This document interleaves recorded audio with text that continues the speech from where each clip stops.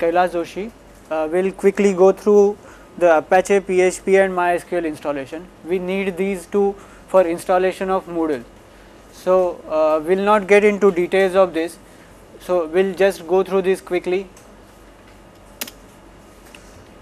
So, first we'll see at Apache installation. Uh, go to the terminal, just follow these commands. Get into super user mode, SU.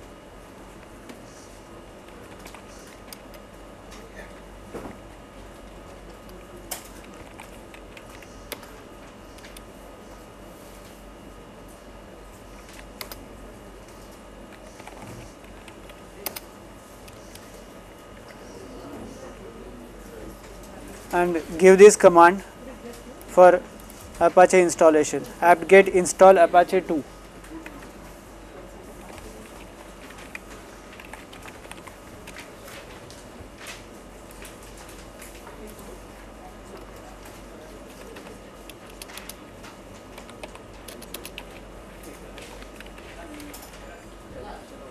So, just give this command apt-get install Apache 2 So, it will install Apache if it is not already installed. So, most of you will have it. Uh, now, it stores configuration files in etc Apache 2. So, we do not need to make any changes to this for now.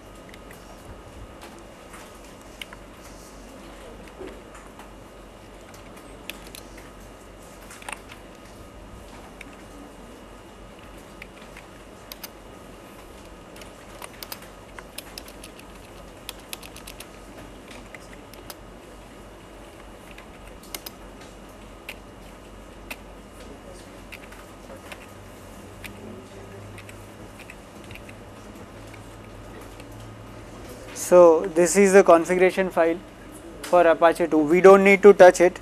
So, let us ignore this for now. Uh, now, the important thing is Apache web root is stored at var www. So, this is the folder from where your web contents will be taken.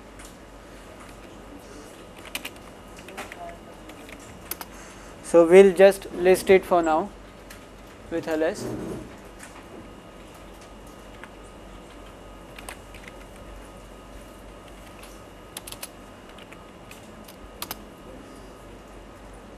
And we will see the contents of index.html in that folder.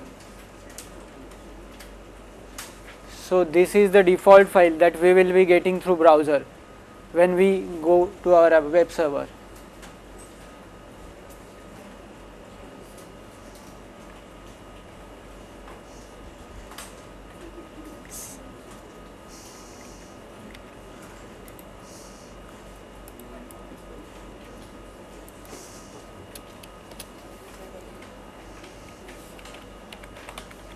So, now we will quickly check whether our Apache is running or not.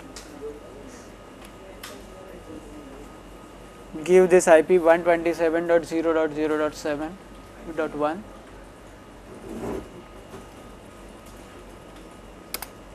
and you should get this page, it works.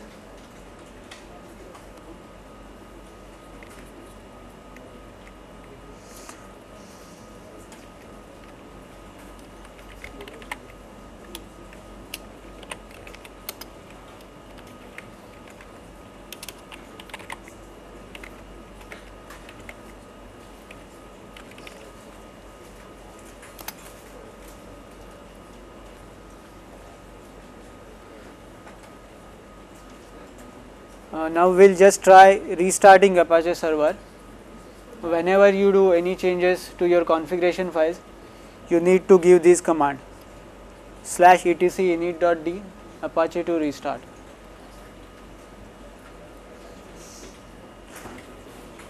So, for now it is giving error that server name not found.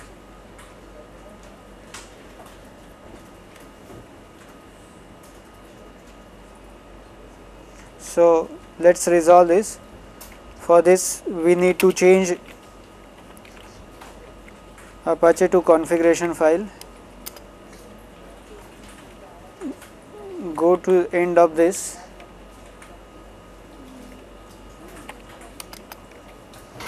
And append server name machine name this line. So this is server name and name of your machine so for my machine it's workshop 03 the one that you have given to your host name. Nothing no changes. This is the first change. First change is over here server name. Server name and your host. At the last append this line. No no happy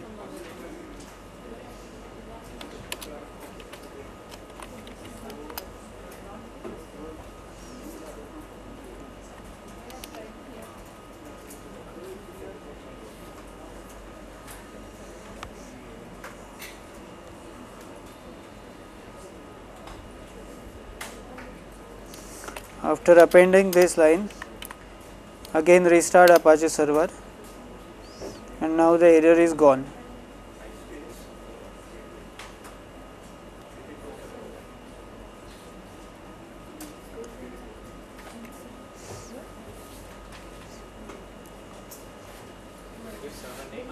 Yeah server name and machine name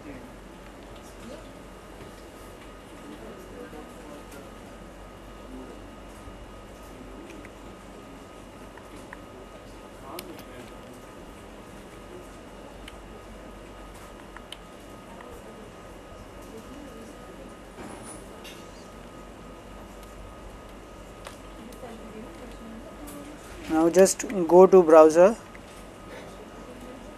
and here now you can specify your machine name.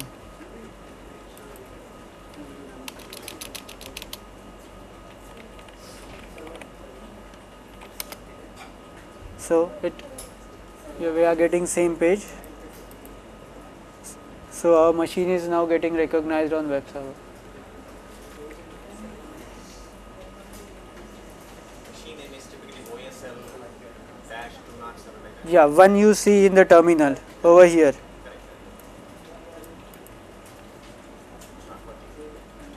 Uh, yeah apache configuration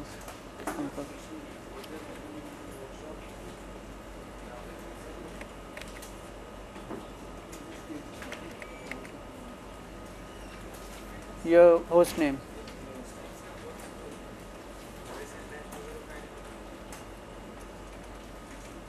yes it should yeah your host name. Uh, have you added server name line? In apache 2.conf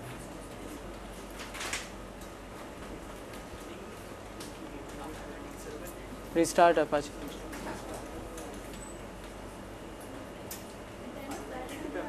Yes server name. Yeah end में at the end of that file. Yeah. Server name space machine name and then restart apache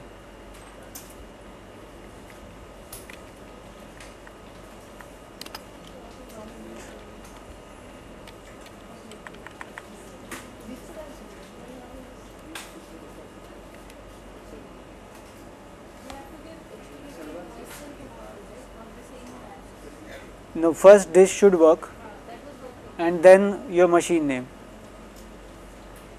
Okay so let's install PHP now. Follow this command. Apt-get install php5 lib apache 2 mod php5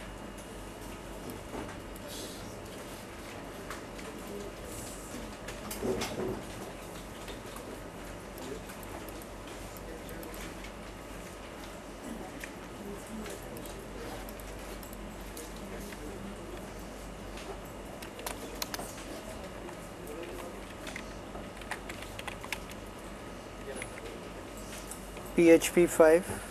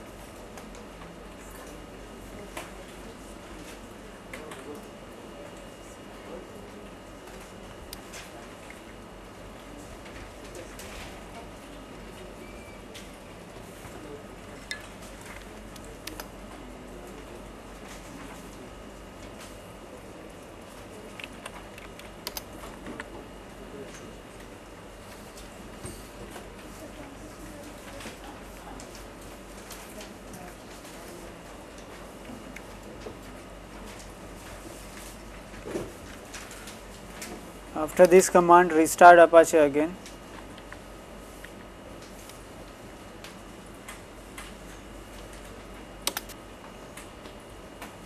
So now we'll go for mysql installation. For this give this apt-get command. Apt-get install mysql server php5 mysql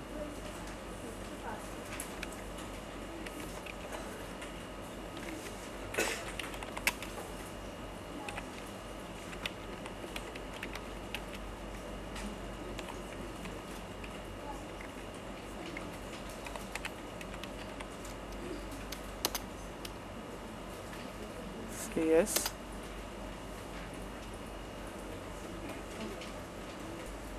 So everyone getting this screen? So now this is the root password for our database. So remember this the password that you give you will be using it for your Moodle. So I'm giving it as MySQL 123 give same password again MySQL 123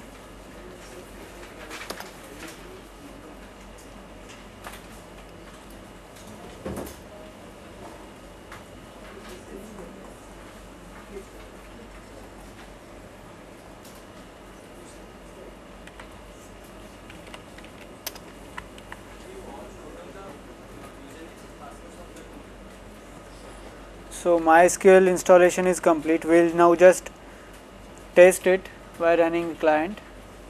For this, follow MySQL command hyphen u and your username that is root.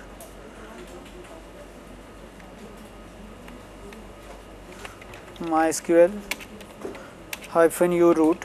We are logging with user root hyphen p to prompt for password and this is the default database that we are logging to MySQL. So this will ask for root password, give the same password that we have given.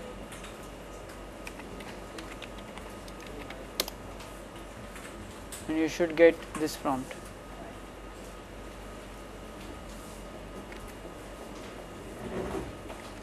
Now let's try one query select star from user. It should list all database users. So these are the table contents we are getting. So type quit to come out of prompt. So you will come to shell again So this means our MySQL database is installed and running properly. So now let's try adding one user account. For this login again with the same command without giving this database. So MySQL hyphen u root hyphen p.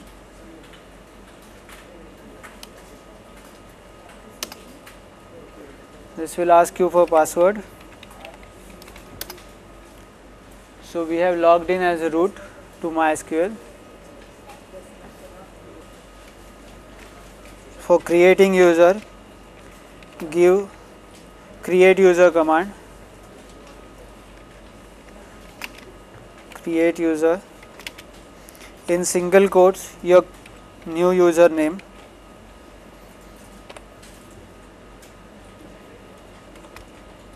at the rate localhost. Your username and localhost needs to be in single quotes.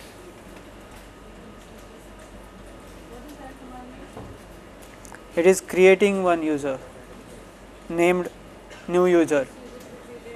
Yeah, on the localhost it is creating username new user. Semicolon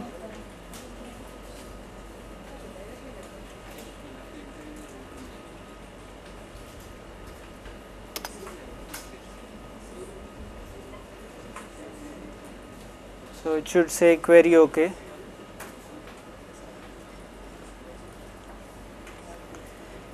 Now we'll grant privileges to this new newly created user.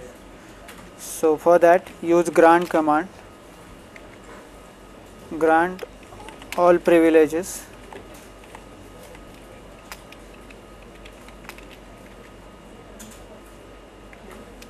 On star dot star that means on all databases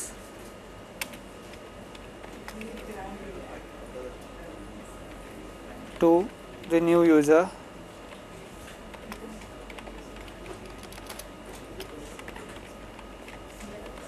at localhost.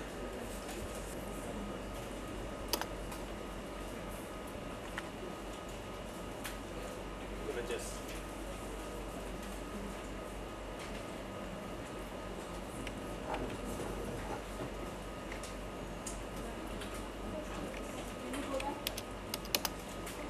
Yeah, use this command. Grant all privileges on star dot star to new user.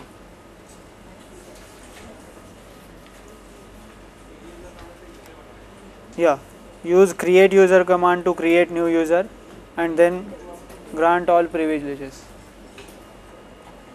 So it should again say query OK.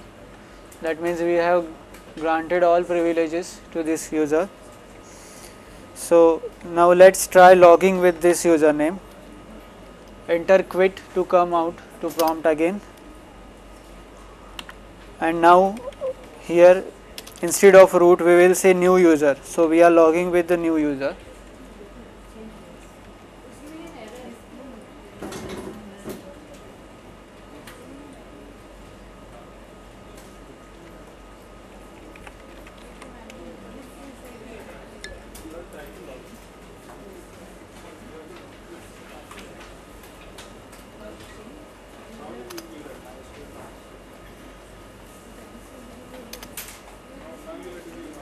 When prompted for password just press enter.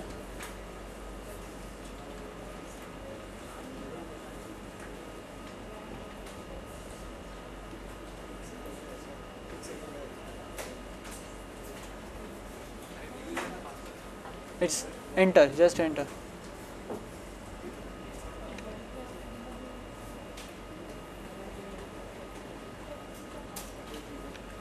So we'll run the same command again select star from user. So now this shows 7 rows one new user added.